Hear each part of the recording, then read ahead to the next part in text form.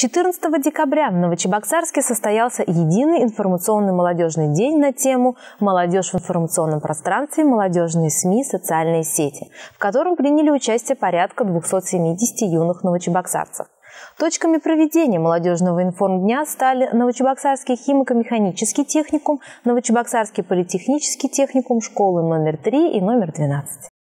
Главными темами молодежного яиц стали шпаргалка для юного журналиста, придирки к студенческим газетам, как подготовить хороший материал, непременные условия отличного видеосюжета и многие другие.